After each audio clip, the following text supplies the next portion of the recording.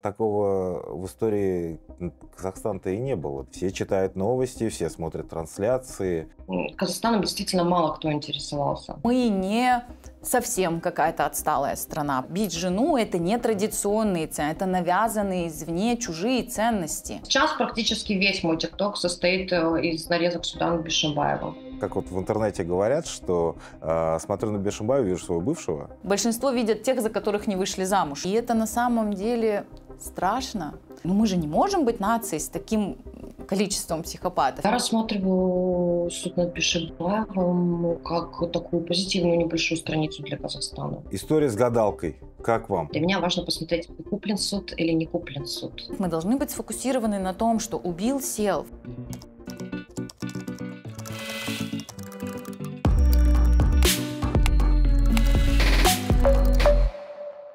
Всем привет, это «Отмечено курсивом». Меня зовут Айдар Бурибаев, я шеф-редактор «Курсив Медиа». С нами Малика Хаким, стратегический маркетолог. А мы поговорим о деле Бешимбаева, о том, как судебное заседание, как этот процесс влияет на имидж Казахстана, став уже, по большому счету, международным событием номер один в, в мировой повестке. Малика, здравствуйте. Здравствуйте. А, скажите, пожалуйста, ну как вам? Как вам происходящее, как маркетологу? Что вы видите?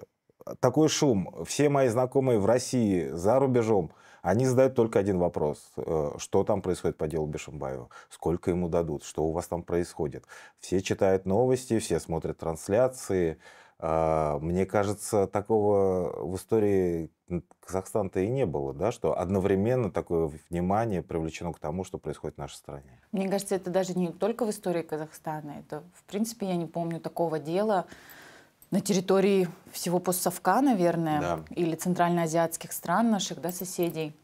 Мне кажется, самое близкое, которое вот у меня вспомнилось, когда все это начало закручиваться, это дело а, по О. Джей Симпсону, да, кажется? Да которого еще как раз папа Кардашьян да, защищал, а, потому что ну, тогда не было интернета, но тоже это было огромное дело. Эмбер Хёрд еще и Джонни Депп. Ну, а, да, да, но там больше, конечно, тянулось на медийности личностей. Да. А, там тоже, конечно, О. Джей Симпсон, да, был известным игроком, но все равно, я думаю, там именно сам этот сама ситуация, и в итоге же тоже они смогли переквалифицировать дело и прочее, что сейчас пытается сделать активно сторона защиты, ага. которая, конечно, подвергается огромному, э, огромной критике, шквалу, да, такой общественной ненависти и порицания. Но я думаю, в нашей стране достаточно людей, которым нравится, что они делают, и которые потом обратятся к ним за услугами тоже. Они как бы маркетят себя и свои услуги как могут, показывают, что они способны на любые шаги ради защиты своего клиента. В целом, конечно, да, это такое резонансное, это особое дело, происходящее у нас в стране сейчас. И очень много вокруг него теперь теорий, да, зачем это такое согласовали, разрешили вообще, открыли. Да, специ... открыли, пустили в эфир, пустили во все госсми. Ладно, когда независимые начинают обозревать, но то, что все а, финансируемые государством прямо или косвенно СМИ тоже это все раскручивают. Для меня интересны именно вот эти вот моменты, то есть почему мы так сделали, зачем и к чему это дальше приведет, почему это такое громкое дело. Да, уже подписали закон, который до этого несколько лет не могли подписать, угу. который в том числе останавливался из-за вот этой чудесной группировки «Союз родителей Казахстана», да, что угу. как, какая-то такая да, группировка, да, да, куда входят такая. все эти блогеры, какие-то странные певцы бывшие и прочее, которые всегда выкручивали вот в ювеналку, там какие-то, угу. в общем, страшные вещи прикручивали, которых нет в этом законе. Это вот, то есть это первое уже такое благостное да, последствие этого mm процесса, что мы приняли, подписали этот закон. Но как бы вопрос же его исполнения, вопрос э, людей на местах, вопрос к там, полицейскому, которому женщина вызовет, и который теперь должен знать, что закон другой. То есть тут я, я пока не знаю, насколько это, но я думаю, что в целом этот процесс дает очень большой сигнал, э, во-первых, подобным Бишимбаеву людям, ну там правильно многие адвокаты угу. онлайн тоже говорят, да, профессионалы, что он имеет право на защиту, он имеет право говорить все, что будет поможет ему защитить себя и прочее. Ну, все равно же вот этот талант особый, вот так, да, переворачивать информацию какую-то, или вот как мы с каждым разом, с каждым слоем видим, да, как он вначале выливает ушат на погибшую бывшую жену, вообще Мгм. даже по- где по тону не видно, что он говорит о любимой умершей женщине. Ну, то есть, в смысле, так не говорят таким тоном, да? Но мы уже, кстати, извините, я вас перебью, мы уже разбирали а, с психологом Айжан Мурзатовой эту историю. А, э, он просто клинический психопат, э, мнение врачей. Это в какой-то степени это не его вина, просто у него такое как бы строение мозга, видимо, и психики, да, что у него просто отсутствуют эмоции там, где они должны быть. А, Малика, скажите, пожалуйста, вот я так вопрос в лоб задам. Нам, Казахстану, так не хватает позитивного пиара. Вы стратегический маркетолог, человек, который разрабатывает миссии, концепции для крупного бизнеса. А, у вас есть опыт э, таких масштабных проектов. А скажите, пожалуйста, Малика, а, для имиджа Казахстана суд над Бешимбаевым, не дело Бешимбаева, а суд над Бешимбаевым, это хорошо или плохо? Я думаю, что это хорошо. То есть, опять же, непонятно, зачем оно так раскрутилось. И мы, Мгм. я думаю, узнаем это в перспективе потом лет, да, Мгм. глядя назад, как обычно. Но в данный момент я думаю, что оно хорошо. Оно точно лучше, да, там, чем Бурат. Як же? My name is Borat. I journalist for Kazakhstan. Или чем попытка снимать какие-то супер рекламные ролики и пытаться их платно размещать. Эм, При этом люди-то внешние, они могут думать, ну, с других стран в смысле, что это не первый для нас самих такой опыт, что у нас как бы вот в норме вещей вот такой открытый суд, где люди говорят, то есть вот именно Пусть само явление, да, что такой суд, чем больше людей будет верить, тем мы сильнее это приблизим к, к жизни, да, Да, на да, самом да. деле. Вот Когда-нибудь это... они видят э, и, возможно, начинают воспринимать, что так оно и есть, что мы так и живем, что у нас такой суд. То есть, но это как бы такой получается пиар нереальности, скажем так. Но он, по крайней мере, показывает, что у нас возможны такие процессы, что мы не совсем какая-то отсталая страна, потому что про Казахстан очень мало кто вообще что знает. То есть оно показывает наш курс и направление, а, и там на фоне некоторых соседей сейчас в сложившейся геополит-ситуации мы выглядим в этом плане, конечно, классно.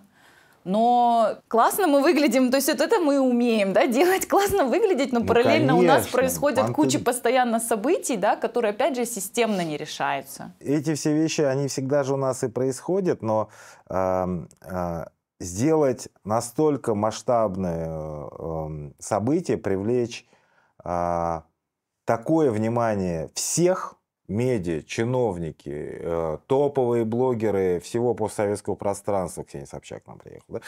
да просто люди, все люди от Тбилиси до Вильнюса, от Вильнюса до там, Новосибирска, все наблюдают за происходящим. Почему э, вот э, эта история с судом настолько отозвалась у всех?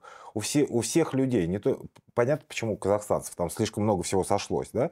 Но почему сошлось у россиян, там, у жителей Грузии, там, жителей Украины, Белоруссии, Прибалтики? А это для многих из нас, э, стран, очень такая тревожная, сложная тема. А, Во-первых, уже существует вот эта проблема бытового Мгм. насилия, проблема отсутствия а, соразмерного наказания, проблема отношения к женщине внутри семьи со стороны там, полицейских, да, или что это семейная проблема, не выносить ссор из избы.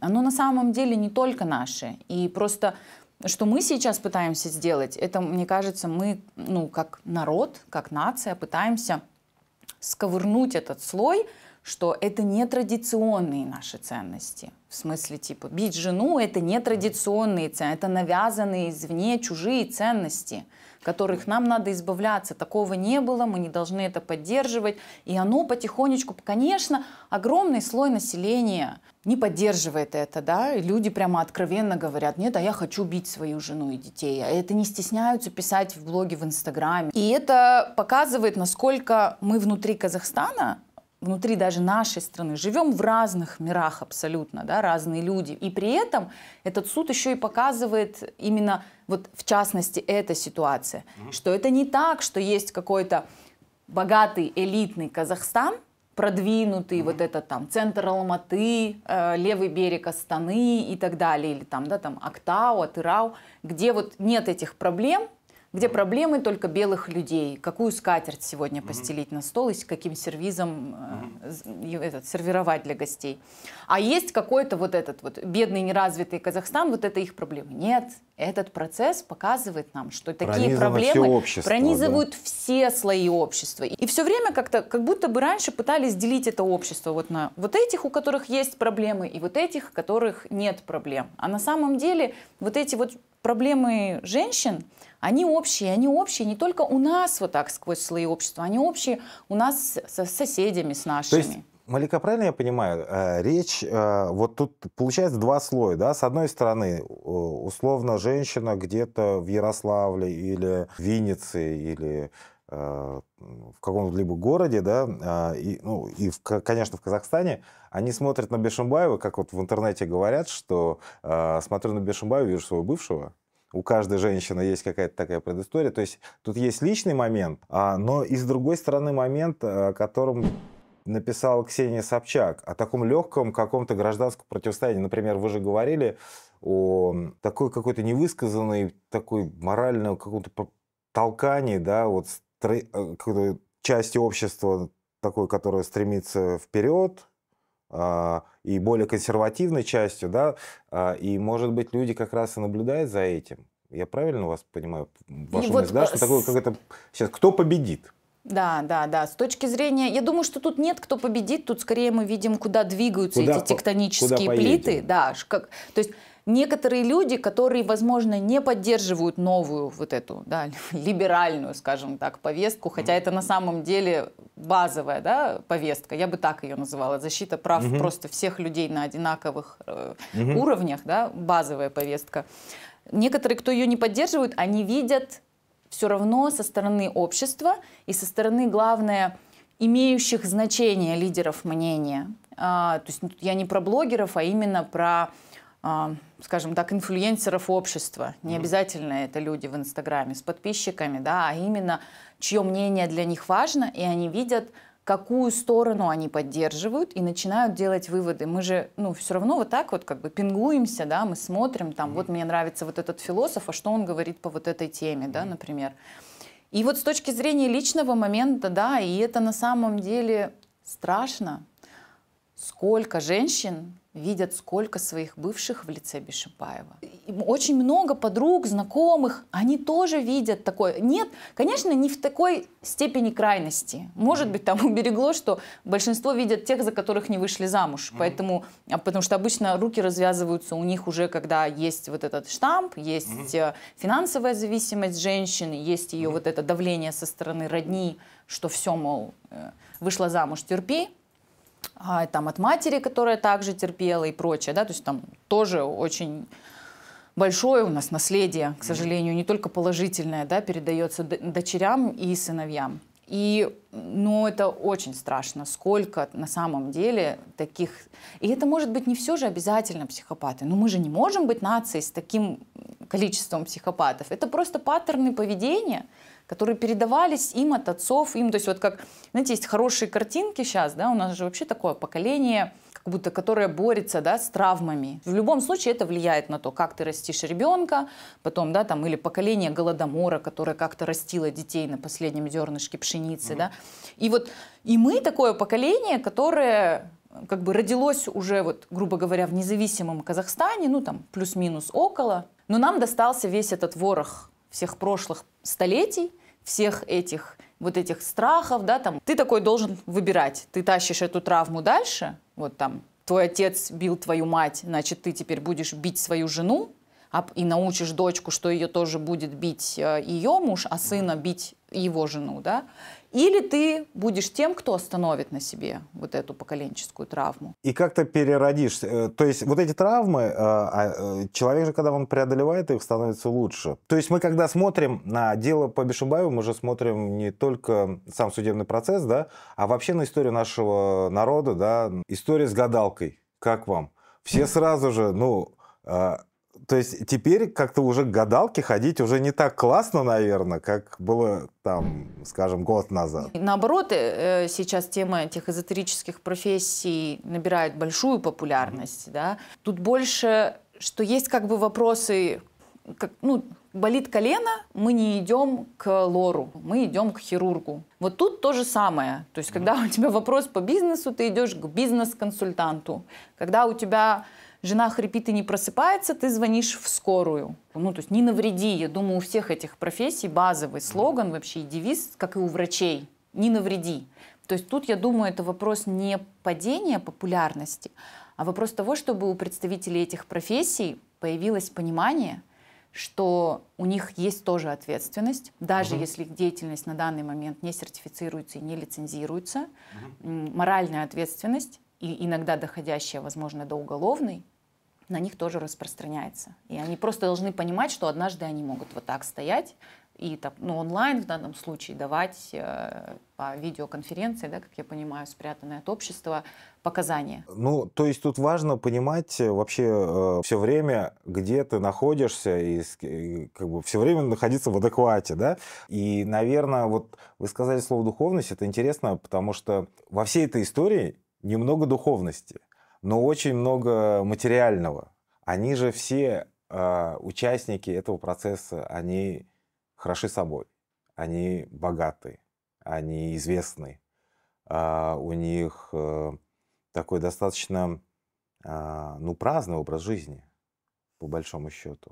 Вот есть хорошее выражение, что э, счастливые семьи счастливы э, по-своему, да, каждый, а несчастные, несчастные одинаково. Ага. Вот что Э, уровень твоего благосостояния, они, он не так сильно влияет на то количество душевных вот этих и психологических проблем, через которые проходит человек, а зачастую груз всех этих вещей, наоборот, э, может усугублять.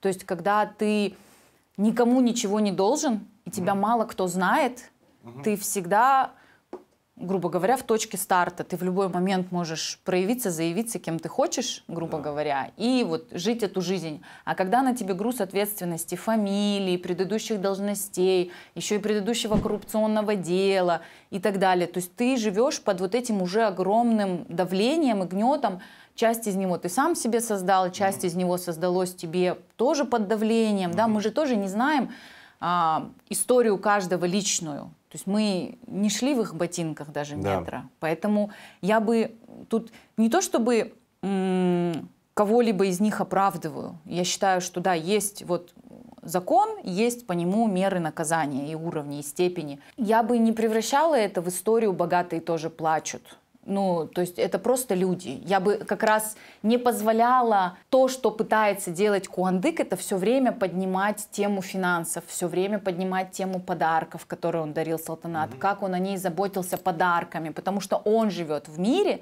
где деньги и подарки это главный фактор. Ну, то есть вот mm-hmm. по его речам очевидно, что бью, но зато дарю же подарки, ну, то есть такая ситуация могла произойти в любом из срезе обществ. Просто кто-то дарит серьги за 3 миллиона тенге, а для кого-то и за 30 тысяч тенге это месячная зарплата. То есть тут я бы вообще не смотрела на э, степень да, в абсолютных цифрах, больше смотрела бы вот в, в процентном соотношении, скажем так, и вот этих вот э, инструментах проявления любви, скажем так. И вот здесь я бы не хотела, наверное, ну я для себя, например, стараюсь не проваливаться в эту степень, что вот вот у богатых свои проблемы, или это вот они богатые, поэтому у них такие, а у бедным на это нет времени, ни гадалкам звонить, ни по психологам да, ну, в общем, то есть вот если откинуть абсолютно шелуху имен, должностей, денег, названий ресторанов и прочее, и представить, там бы мог вместо этого ресторанного комплекса быть просто ларек на углу дома. Ну, то есть,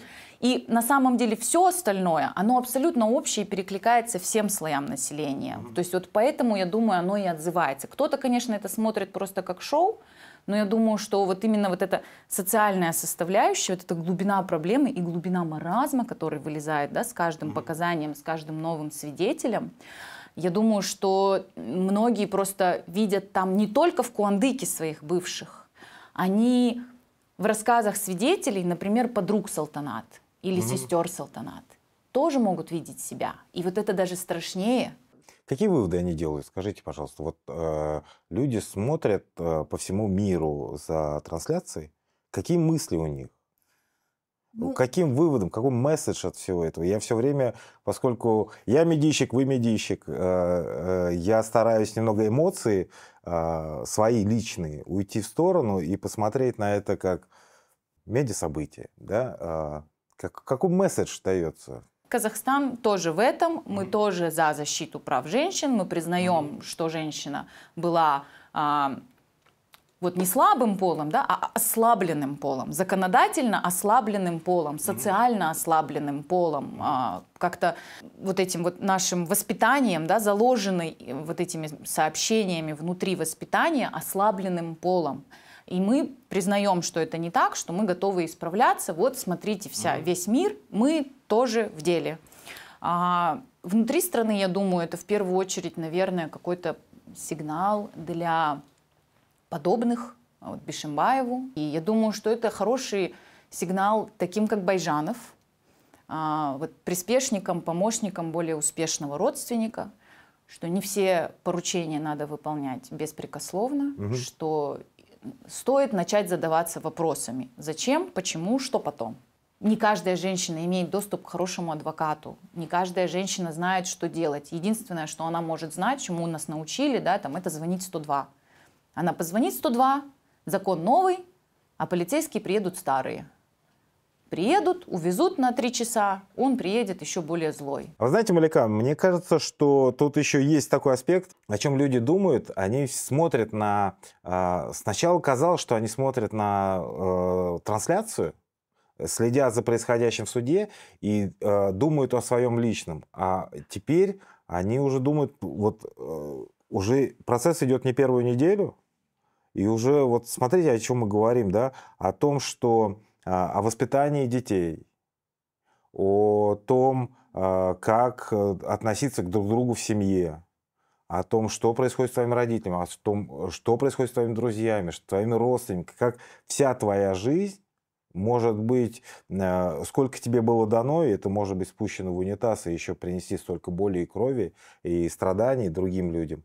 А, Может быть, вот об этом, то есть я надеюсь, что этот суд, он станет, ну, чуть-чуть, но мы станем все немножечко, может быть, лучше, но хотя бы задумаемся об этом, знаете, как после прочтения какой-то э, книги, в которой описана чья-то история, и, э, может быть, мне очень нравится то, что это отзывается в сердцах такого количества людей. Конечно, это очень важный для нас процесс. Я надеюсь, что кто-то, кто талантлив в касании пера бумагу или там сценарном плане, да, переложит и вытащит правильные смыслы. Потому что сейчас, конечно, очень легко перетягивается фокус внимания. Очень часто, когда я там захожу, я захожу обычно почитать комментарии в прямых трансляциях или в, новосты- Да. новостях. И на многие комментарии я смотрю и думаю, господи, пожалуйста, я надеюсь, это написал бот. Потому что очень хочется не верить, что такое может написать мой сограждан казахстанец, с которым я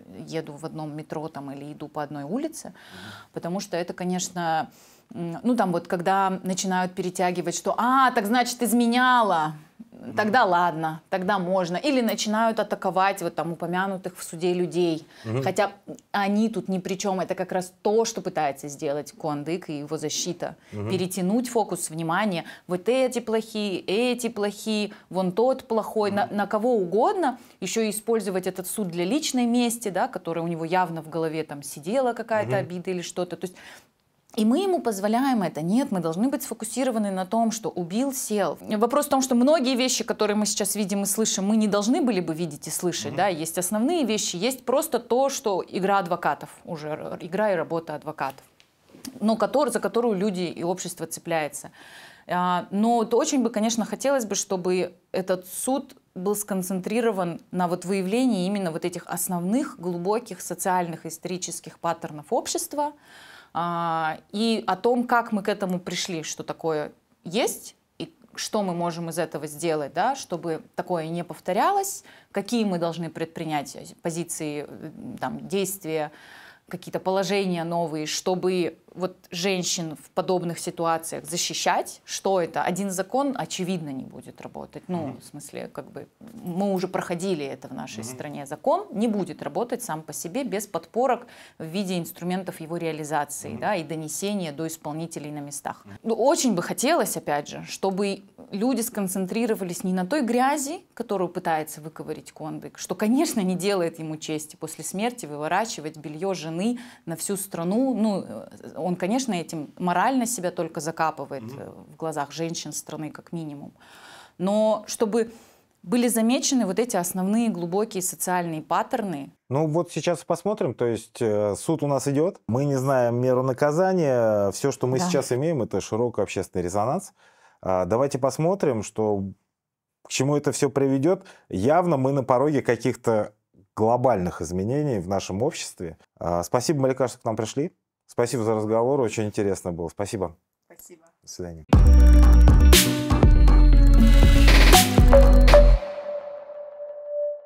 А сейчас у нас в гостях Татьяна Кондратьева, корреспондент рубрики «Lifestyle» издания «Курсив Медиа». А, Татьяна долгое время работала в российском издании «Cosmopolitan», medialeaks.ru. Сама она живет в Питере, и она отлично нам должна рассказать о том, как на постсоветском пространстве воспринимают Казахстан, что изменилось с делом Бишимбаева, как изменилось восприятие этого. Тань, привет. Привет. Ну что, а, к нам на прошлой неделе приезжала Ксения Собчак в Астану на суд по Бешимбаеву. А, как известно, Ксения Анатольевна просто так не ездит. Она ездит туда, где интересно, туда, где интересно не просто ей, а ее многомиллионной аудитории. Как тебе? Ты видел, наблюдал за этим всем? А, да, я видела ажиотаж, который возник вокруг ее присутствия на суде. Но, mm насколько я знаю, она приезжала туда для того, чтобы снимать фильм, да, в процессе. Плюс она изначально э, освещала э, все, что происходило на суде и проблемы домашнего насилия в Казахстане, поэтому я думаю, что это было логично. Расскажи, пожалуйста, в России и вообще на постсоветском пространстве от Прибалтики до Грузии, как воспринимается судебный процесс по Бешимбаеву, который сейчас происходит? Насколько широко он известен? Как люди его воспринимают? Потому что в Казахстане это тема номер один. Я вижу, суд над Бешимбаевым стал темой номер один. Да, действительно, не только в Казахстане, но и на просторах СНГ. Э, лично я и очень многие мои друзья следят за процессом, ежедневно смотрят э, прямые трансляции анализирует все, что происходит. И как мы видим, весь ТикТок, э, не, не только казахстанский, заполнен э, видео с нарезками из суда. Тань, скажи, а ты же в Казахстане вообще не была ни разу, правильно я понимаю? Нет, к сожалению, нет. Ну, мы это исправим. А, а, скажи, пожалуйста, вот за последние год, два, три, вот за такой небольшой период времени, как-то, на твой взгляд, поменялось восприятие страны э, на постсоветском пространстве? Я знаю, что ты жила в Грузии, ты живешь сейчас в России, много путешествуешь. Э, какое-то ощущение у тебя, у твоих друзей? Мне кажется, как бы, может, обидно это немного не звучало для жителей Казахстана, что в Казахстане, я сейчас буду говорить о России, да, э, заговорили в России после начала мобилизации, после повальной эмиграции российских мужчин в Казахстан. Ну и, конечно, в 2000, с самого начала года, 2024 э, года, Казахстан э, мелькает на новостной ленте все чаще. К сожалению, это из-за страшнейших паводков и суда на Бишимбаем, но тем не менее люди начинают интересоваться о том, что происходит в Казахстане. Все чаще начинают интересоваться культурой этой страны и задумываются о том, чтобы приехать в Алматы и в Астану и увидеть своими глазами, что там действительно происходит. Потому что Казахстане Казахстаном действительно мало кто интересовался, к сожалению. Но сейчас, я так понимаю, происходит какая-то ну, такая волна интереса, или это, может быть, объединились просто информационные пространства наших стран? Расскажи про это. Вот я знаю, что ты автор большого материала про вот этот интернет-прикол с бутылками Пепси и Синтаймола в Алматы. О чем речь вообще? Насколько это все воспринимается тоже в России, насколько это известно тема? Ну, для нас эта тема интересная, потому что, как я уже говорила, практически вся лента ТикТока заполнена новостной повесткой, казахстанской новостной повесткой. Сначала да, идут да, нарезки да. Судан Бишимбаевым, ага. потом а, видео с зумерами, с бутылками Пепси у Синтаймола. Естественно, это вызывает а, а, интересно, начинаешь гуглить, что же действительно происходит э, в Алматы и зачем эти люди стоят с газировкой. Ну подожди, ну вот смотри, ты берешь свой ТикТок, допустим, смотришь и листаешь. У тебя, правда, там много казахстанской повестки, казахстанских блогеров или тем, которые исходят из Казахстана? Казахстанских блогеров нет, но тем да. Ну, то есть сейчас практически весь мой ТикТок состоит э, из нарезок Судана Бишимбаева. И, естественно, как-то, видимо, алгоритм подбрасывает э, все, что происходит э, в Алматы в том числе. Тань, скажи, пожалуйста, а вот э, давай поразмышляем на эту тему. А, хорошо это или плохо то, что весь мир сейчас следит за делом по Бешимбаеву? Это всем вседоступная такая информация, и каждый человек во всем мире, не только на постсоветском пространстве, но и Э, в дальнем зарубежье от нас, они составляют свое какое-то особое впечатление про Казахстан. Скажи, пожалуйста, это позитив или негатив? Ну, я рассматриваю суд над Бишебаевым э, как такую позитивную небольшую страницу для Казахстана. Почему? Я объясню почему. Да, потому что Сейчас мы все наблюдаем, как Казахстан а, делает либо пытается делать выводы из этого процесса. Мы видим, как такая подписывает да, а, так называемый закон Салтанат, который ужесточает наказание за насилие над женщинами и детьми.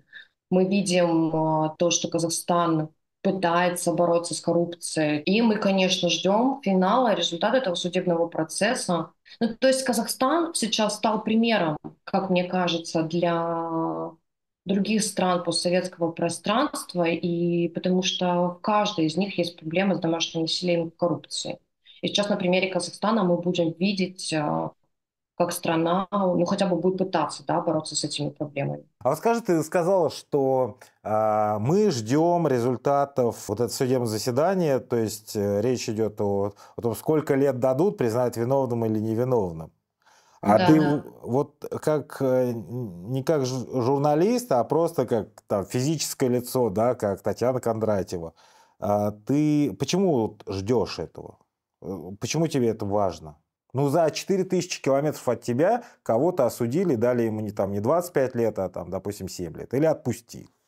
Почему для тебя это важно? Для меня важно посмотреть, куплен суд или не куплен суд. То есть а, а, как, а, что будет в итоге, а, как это все развернется. Во-вторых... То есть тебе просто интересно, да? То есть как сериал? Да. Во-вторых, это уже действительно адреналин, это интерес. А, э, это, это, конечно, с одной стороны плохо, но суд превратился в некое шоу, э, в некое реалити, за которым ты следишь каждый день. И то есть пропустить уже финал просто невозможно. Как бы, да, естественно, ты ждешь развязки. Действительно, мы все на стороне Салтанат Нукеновой, да, ее родственников. Мы видели, точнее, слышали эти, эти ужасные видео. Э, и мы хотим, чтобы Бишимбаев э, получил справедливое наказание. То есть можно сказать, что в какой-то степени ты себя ассоциируешь, да? Ну, вот, вот, например, в Казахстане многие люди, которые смотрят, они э, ассоциируют себя кто-то с братом Салтанат, кто-то там видит в Бешимбаеве какого-то своего бывшего абьюзера, который его мучил. То есть э, ты э, с этой позиции смотришь? Можно ли сказать, что ассоциируешь себя с, вот с этим происходящим на экране там, твоего компьютера, когда смотришь, за, наблюдаешь за трансляцией, прямой трансляцией. Да, ты очень э, интересно сейчас повернула. Я на самом деле думала об этом и думаю каждый раз, когда смотрю суд, но просто почему-то сейчас а, я не заострила на этом внимание. Действительно, когда ты смотришь суд над Бишимбаевым, ты вспоминаешь свои личные проблемы, ты ассоциируешь Бишимбаева со своими да, молодыми людьми, грубо говоря, Mm. Ты ассоциируешь салтанат с собой, начинаешь копаться в себе, начинаешь эм, думать, а был ли он абьюзером, а, а какие проблемы были в отношениях и так далее. И, в общем, начинаешь анализировать. Да, действительно, то есть суд, он копает еще глубже, э, чем... Э, то есть это не просто суд, а, видимо, какая-то, я не знаю, даже психологический э, сеанс у психотерапевта.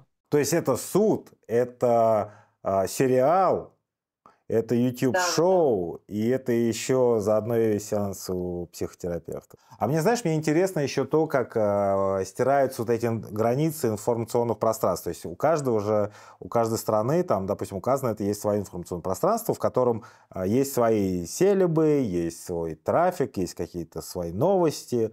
Э, у России, опять же, тоже есть это пространство, и каждый вот выбирает, в котором жить. То есть есть какие-то некие виртуальные границы, и когда э, речь идет о таких простых бытовых вещах, простых и непростых, да, бытовых, но и ужасных. Стираются эти границы, мы все становимся людьми, э, никто друг друга не делит на ты грузин, казах, э, украинец, русский э, или татарин. Все становятся просто людьми и задумываются вещах, которые для них действительно важны. Добро, любовь, зло, вечность. Я в этом смысле, то есть я нашел, смотри, еще один такой философский аспект. Да, да. А, ладно, Тань, спасибо большое за разговор. Было очень интересно тебя послушать, твою точку зрения. С нами была Татьяна Кондратьева, корреспондент рубрики «Lifestyle» издания «Курсив». В прошлом автор «Cosmopolitan» и Medialeaks. Тань, пока. Спасибо тебе. Спасибо, пока. Суд по делу Бишимбаева заставил каждого из нас задуматься э, о том, как мы относимся к своим близким, о своих дочерях, о своих женах, о своих мужьях и родных. Давайте оставимся с этими мыслями. Подписывайтесь, ставьте лайки. Это был «Отмечен курсивом». Пока. До следующего выпуска.